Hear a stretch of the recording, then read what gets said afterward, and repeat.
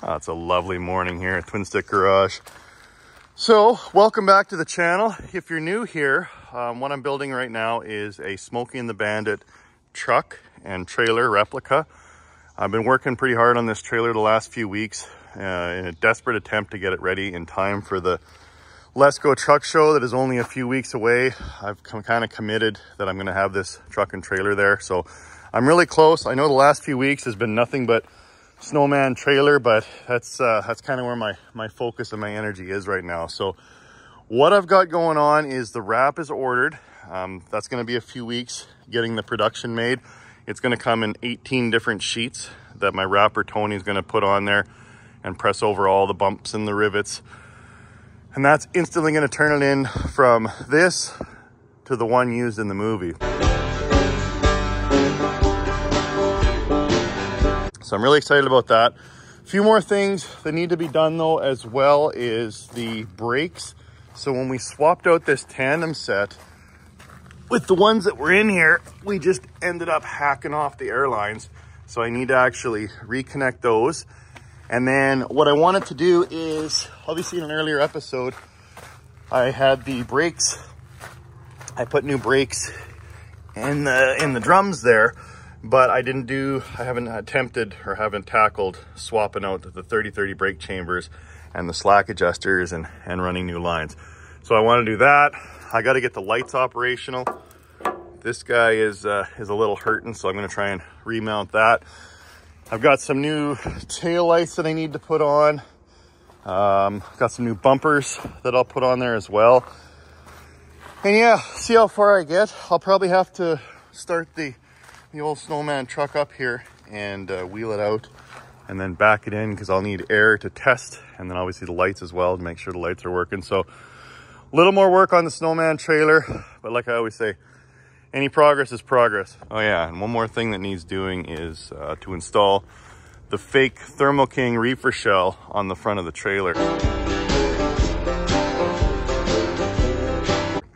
So my friend Dawn Gratz said that she may be able to stop by today and bring her forklift out, which would be ideal because that way we could kind of lift it in a controlled fashion, hold it in place, drill the six holes, and then mount it on the trailer. So fingers crossed she's able to get by today with her forklift. If not, I guess we'll have to try for the next weekend. But I'm gonna go ahead and get started on the on the brakes and the lights and see how far I get. And if she shows up, that would be fantastic. We'll get that reefer on there as well.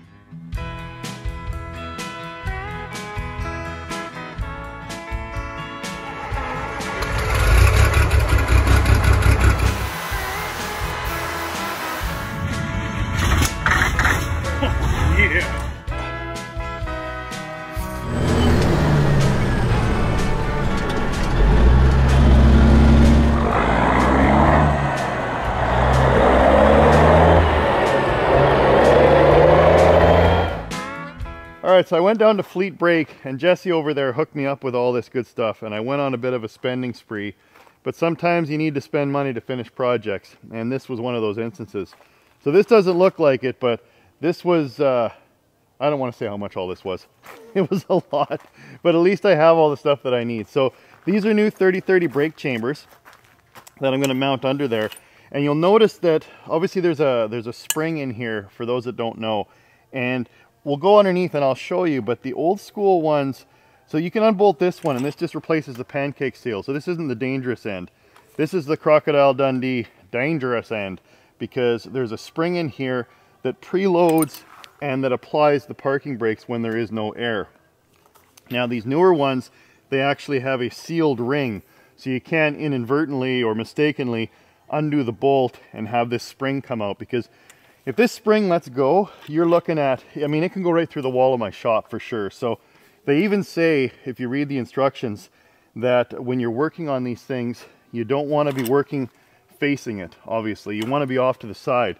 So if something does let go, I mean, not so much on the newer ones, but definitely on the older ones, if there's some damage to the ring that holds it in there or the, the cup that, that's keeping that holding, holding that in there as well, if there's some cracks or some rust, the spring could release at any time. So you always want to work it off to the side. So this is a 30-30 brake chamber. It has an inch and a half stroke, and I'm going to show you how, when I get the, the old ones out of there, how to bolt this in and then set it up. But again, if you're not familiar with these, uh, I would suggest going to a professional because there's a lot of danger here. And of course with brakes, you want to get them set up correctly in order to stop the vehicle. So if you don't know what you're doing, go talk to someone that does. Um, get yourself educated. There's lots of good videos, lots of good information on the internet on how to set these up properly and how to work with these safely. So I got the new brake chambers. I got another uh, cable because of course I sacrificed the old one when I hooked the Kenworth up to the camper. So I needed a new cable. Um, bunch of lights, whole bunch of good stuff. And then these are the, the new slack adjusters. So I went with the old school manual adjustment. They're not the automatic. So the newer style, they actually, as the brakes, as the, as the brake shoes wear, and this keeps going farther and farther out, it'll keep automatically adjusting back into tolerance. You're still supposed to check them every once in a while. But these old school ones, the way we would do it when I was trucking is you'd have to go underneath in the morning when you're doing your pre-trip uh, checks and you'd have to actually go and do a um, full on and then a quarter turn off. So I'll, I'll show you how to set that up as well. I'm just kind of old school and I like these because they're cheaper and I don't always trust the automatic adjusters. I kind of like the fact that a person needs to go underneath there and, and make sure they're within tolerance because of course if you get pulled over in a truck inspection and they're out of spec, it becomes a pretty big ticket. And aside from that, I mean, it's not safe because you're not able to stop the vehicle either. So want to make sure your brakes are in check. Uh, what else did I get? Yeah, I was mentioning the new bumpers. So these are just little rubber bumpers for the back. Now it appears I should have bought four of them because there's holes here that almost look like they were welded closed. They did kind of a crappy job. So maybe I'll go back and get two more of these. But I figure that'll look nice and sharp. And then some LED lights and a bunch of other goodies that I need to install. So I guess with that, I'll, I'll stop talking and I'll actually crawl underneath there and start doing some work and taking out the old stuff. All right, so first up, what I need to do is take the slack or the tension out of the slack adjusters. Now a guy could just zip cut these with the grinder, but there's a load on there, so it's better to, to get rid of all the potential energy when you're working on stuff. So obviously there's no air in the trailer right now in the system. There's no truck attached to it, and the brakes are fully applied on. So what I'm doing, what I did was I chalked all the wheels so the trailer doesn't roll because these are the only brakes that are actually applied right now. I had this set up for safety in an earlier episode. So I rigged up a chuck to the park brake side. So what I'm going to do now is put air on and apply air. And what it's going to do is overcome the pressure of the spring that's pushing to apply the brakes fully on. And it's going to pull that back. So you see the slack adjusters move back.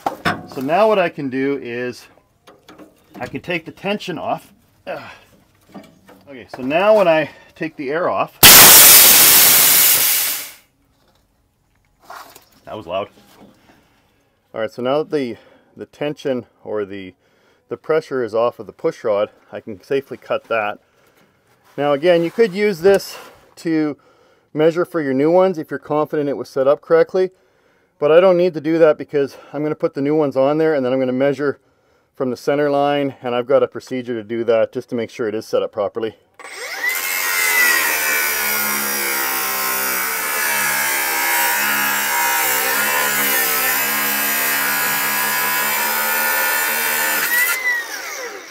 You see it cuts it real nice when you take the, the tension off. Otherwise what will happen is if you try and cut these when they're loaded up, it'll bind up on your uh, on your grind or cutting disc. Okay, the other side.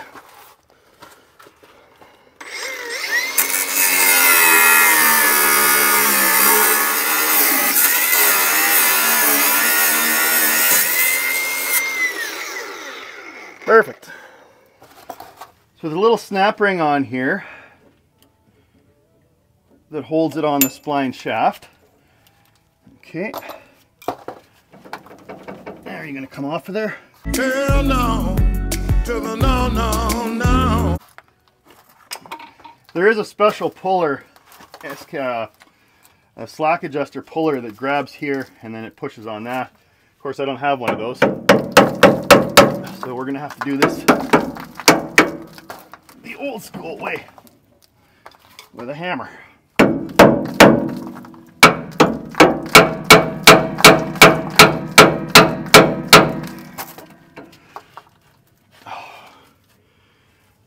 Course they're just going to be a bear.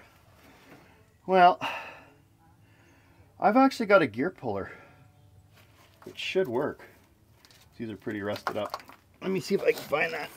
Yeah, so I thought I bought a puller one time when I was at Princess Auto. So I don't know if it's going to work, but we'll try it.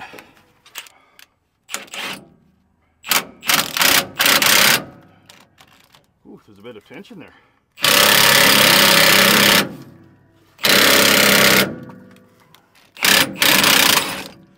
Oh, these are on there. As Peg's yelling at the screen, buy some torches. Holy cow.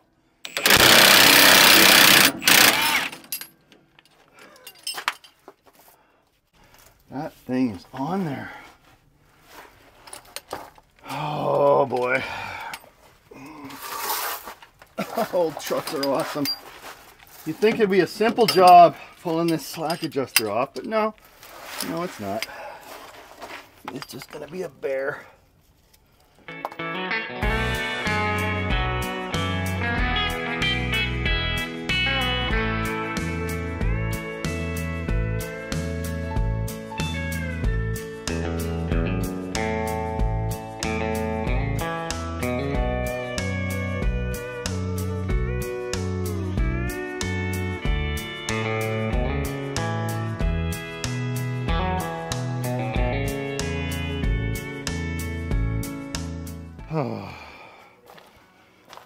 Right, folks, anti-seize is your friend. Don't be afraid to use it.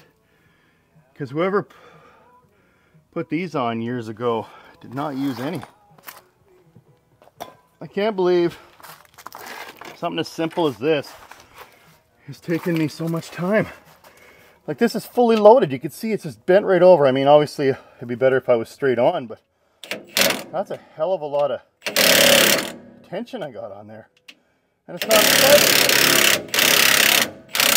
Oh, that's the wrong way, Mark. Oh my god. I guess I might this might be the the final breaking point for twin sticks to get torches because I don't know how else to get this thing off of here. Just I can't believe it's not seized on there.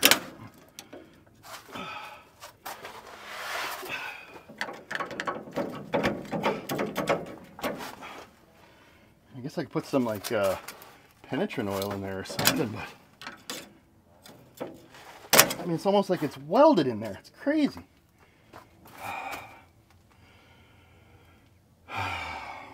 And this is number one of four. Odds are if this one's that bad, they're all gonna be the same or worse. Oh man. All right, so I finally broke down, came over to OxyPro, and they had this little kit here now I know it's kind of Mickey Mouse and small, but for what I'm doing for removing bolts and stuff, this should work. So let's get it back home and see if we can't get those buggers off of there. Now we're ready to, don't need this anymore.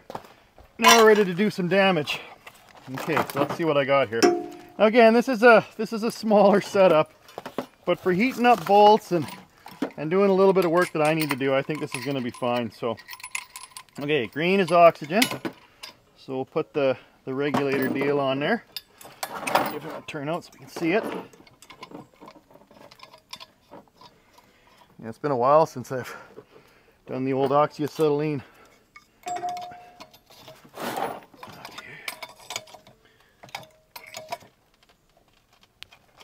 Good and tight. Make sure they're both closed. I guess they'd have to be or I probably wouldn't have made it home. All right. So, uh, let's see here. Okay. So now, loosen off both regulators. We'll open the oxygen up. Oh, seems to be passing. If I just can get this tightened up. There we go. Okay, open up oxygen all the way, and you can see there's about 2,000 psi. So that's uh, that's serious pressure in the oxygen tank. Now with the acetylene, uh, again, that's loose.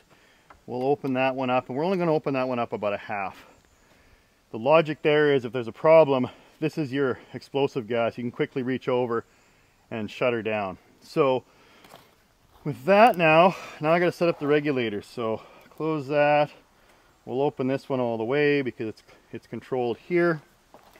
And then I'll start cranking this up to about uh, 20 psi for the oxygen and then we'll start cranking him up to about I don't know six or seven something like that and then we should be ready to give her a go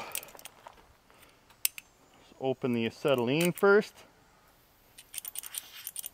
hang on there it goes I'll try it the other way There we go. We're cooking with peanut oil. Okay, something like that. And then we'll add some oxygen. Oh, yeah, burnt right out. Okay, rookie. Open that up.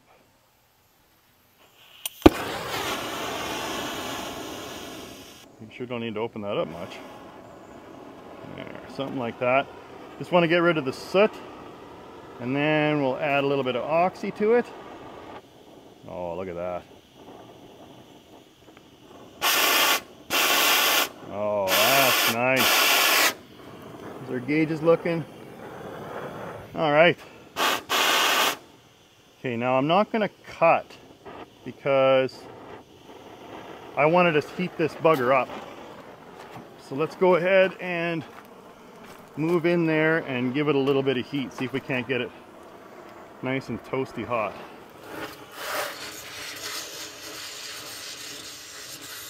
Oh, this should work a lot better than the uh, the plumber's torch I was using. Now I suppose I could cut this off of here.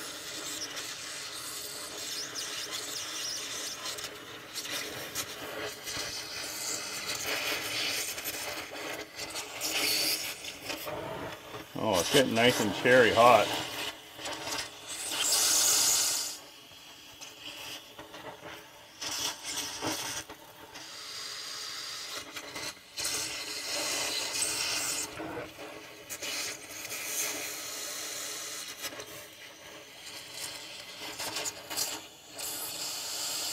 Okay. turn the oxygen off, turn the acetylene off. Now, we will put this guy on here. Where's my impact?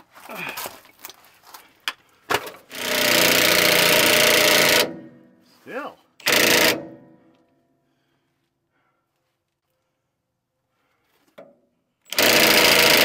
Okay. Well, we'll put more heat on the other side. Uh,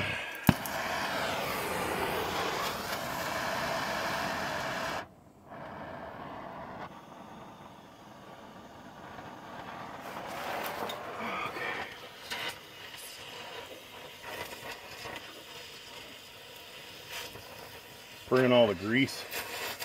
And don't worry folks, I got the fire extinguisher right handy. Just in case.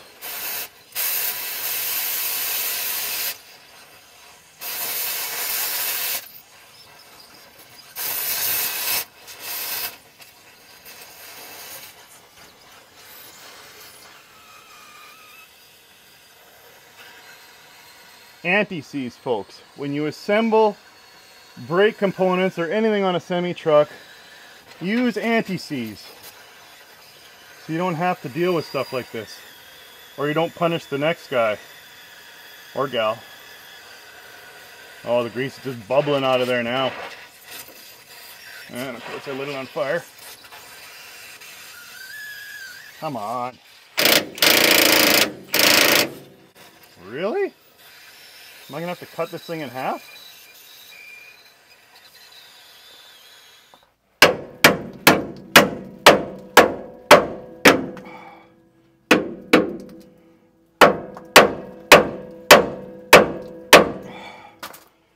kidding me?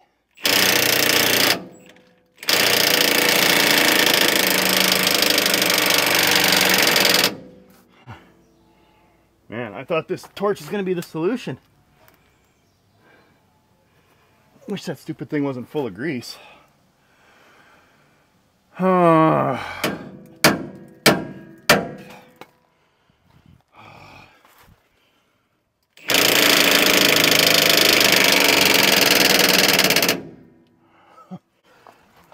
That's got to be a record for most seized slack adjuster.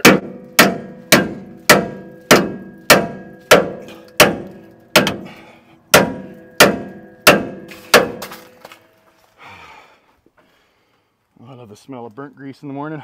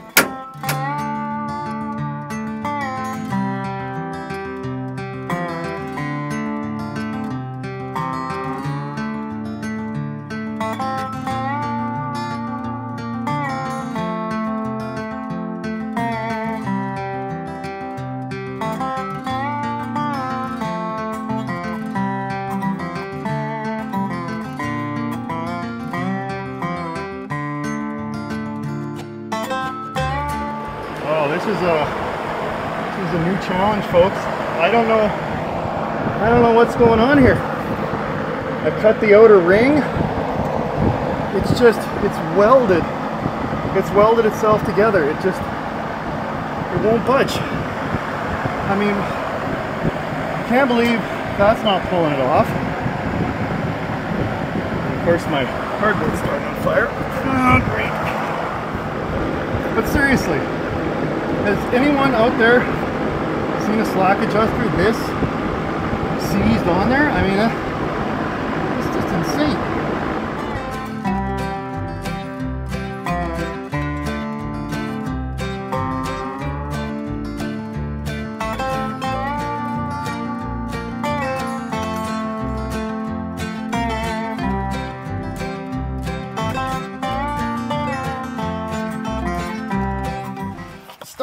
Off so positive. Oh yeah, it'll be easy. I'll just uh, I'll just pull the slacks off. We'll put new cans on. Be a walk in the park. No, I'm gonna spend half a day getting one slack adjuster off.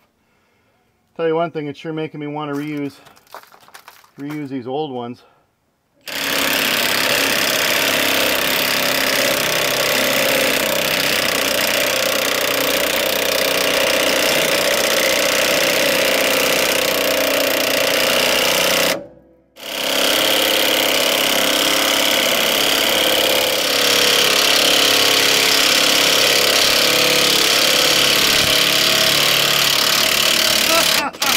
Oh, everything's falling apart. Come on, get off of there. Oh, no, I can't do it. It's a third. Oh, wait. oh, my God. Okay, so what did I do here? I rattled apart my... I rattled apart the, the deal here. The old power fist. Said that's enough. I'm done. Okay, come on. Really?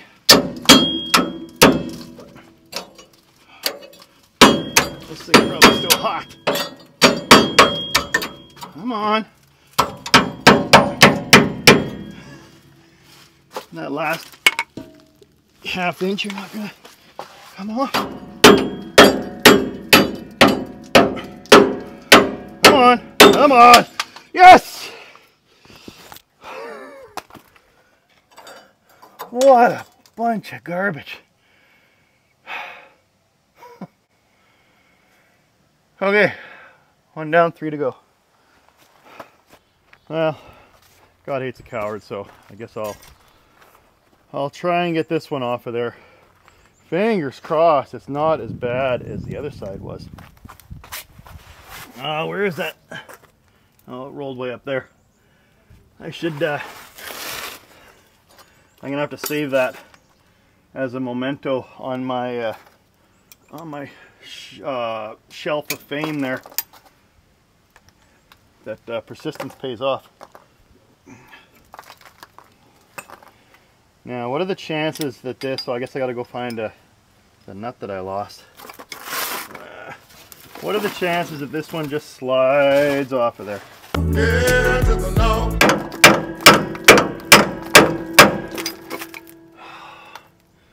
Well, my OCD will drive me nuts, so if I leave, if I have one new one and one old one, I might leave those two up there because you can't really see them.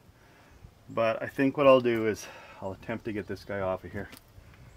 As painful as that's going to be.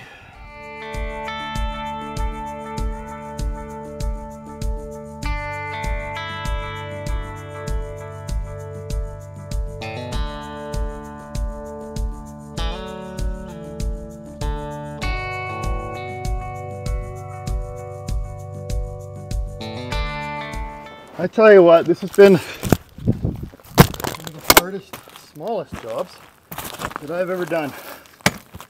Just insane. But I think it's coming now. My impact's giving up the ghost. I don't know what's wrong with it, so maybe it's just because it's on an angle. It doesn't like that. So I can actually get this off by hand.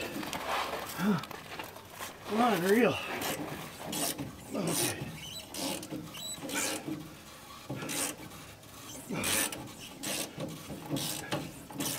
come on now. Don't fall off on me.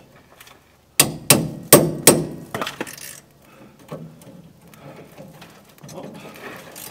Hang on. It's gonna come off. Oh.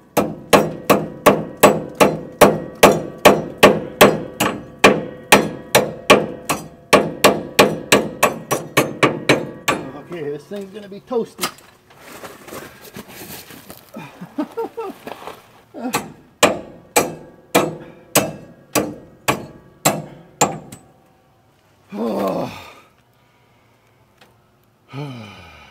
okay, so I'm back at it again. I just cut the air lines because I'm gonna obviously run new ones. And I just undid the bolts of the impact and there's the old air cans.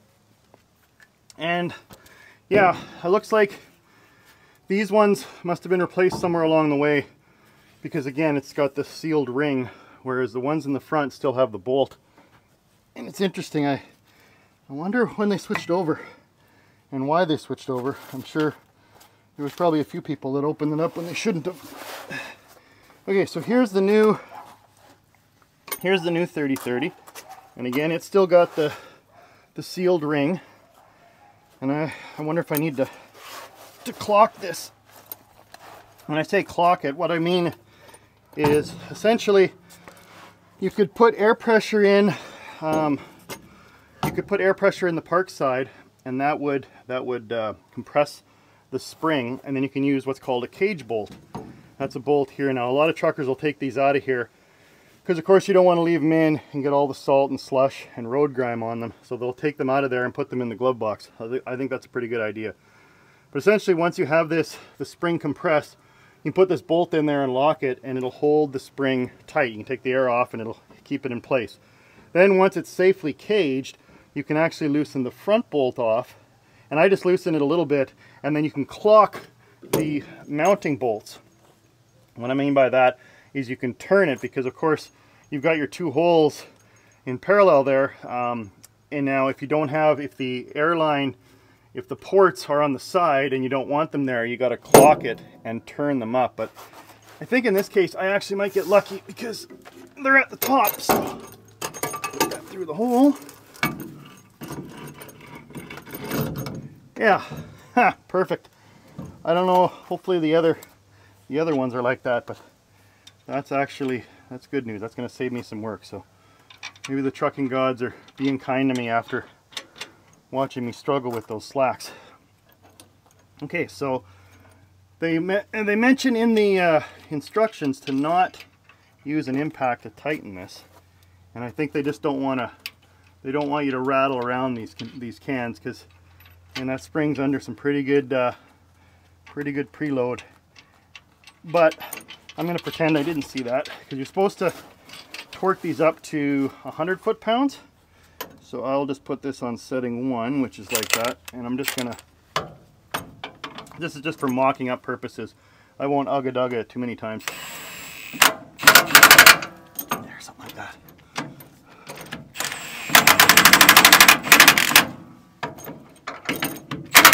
Yeah, good enough.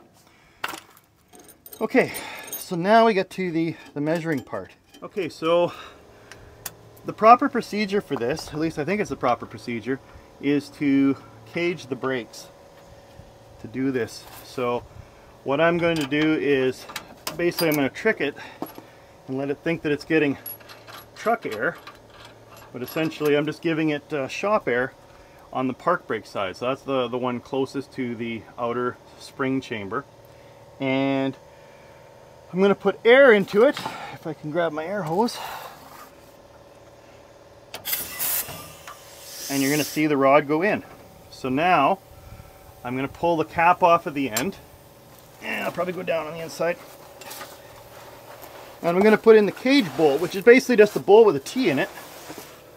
I just want to make sure it gets engaged. Okay. And you just give it, once it goes into the slot, you just give it a quarter turn. And then I'm just going to put the nut on and snug it up. Of course, the air is holding the spring compressed.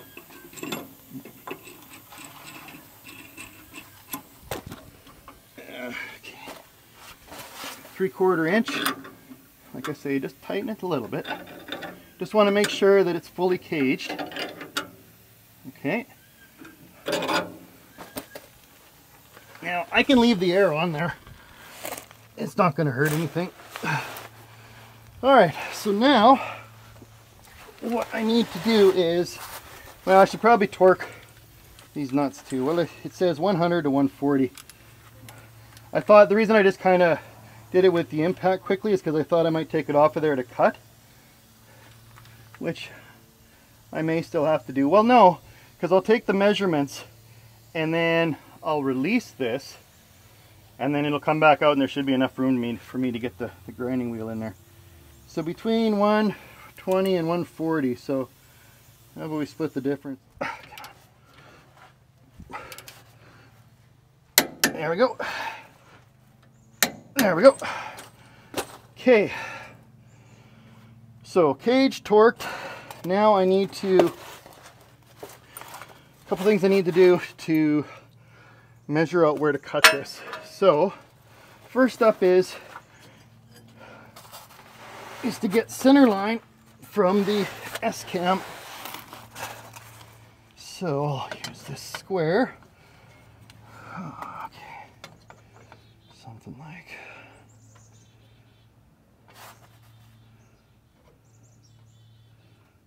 something like that, I figure. Okay. And then next up, you measure the clevis. Ah, uh, the inside of the clevis. So the inside from this flat edge here to the center line there. And that's about inch and a quarter, I'd say. Inch and a quarter, looks good. So then you go backwards uh, up the shaft from that first mark, you go towards the um, towards the brake chamber. So what did I say, inch and a quarter? So that'll be my second mark. Inch and a quarter. Something like that. Yeah. Okay. And then the third mark, well, I wonder, maybe I'll bring the camera closer so you can see what I'm up to here. So this first mark is the center line to the S-cam. So that's your that's your first mark. Then the next one is, I took off the inch and a quarter for the clevis, the inside center line of the pin to the inside of the clevis. And then the third one here is an inch and a half back. Don't worry about that one. I don't know what I was doing there. An inch and a half back because this 3030 brake chamber they talk about it on the internet, but this particular model has um, inch and a half usable travel. So you go from your second mark and you go an inch and a half back from that. So that's going to be my, my cut mark. So then what I like to do as well is to have the, the lock nut on the inside of where I'm going to cut it because that's why when I grind this off of here, I can back this off and it'll clean up the threads as it comes off. That way the clevis will go on there nicely and lock in place. And then I can go get a bunch of anti-seize because I don't want to have the same problem that I just had or set that up for the next person and put on the slack adjuster and put the pin in and I should be able to have this one just about uh, done. So I'll go ahead and get at her and uh, show you what it looks like when it's done.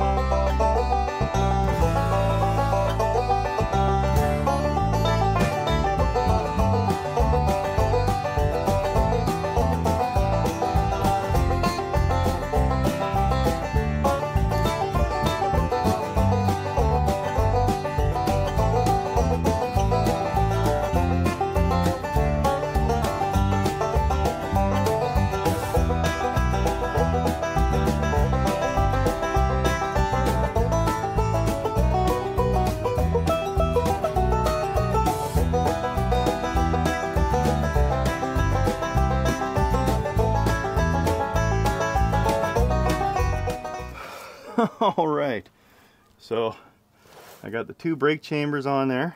I got the push rods cut to the right length, hopefully.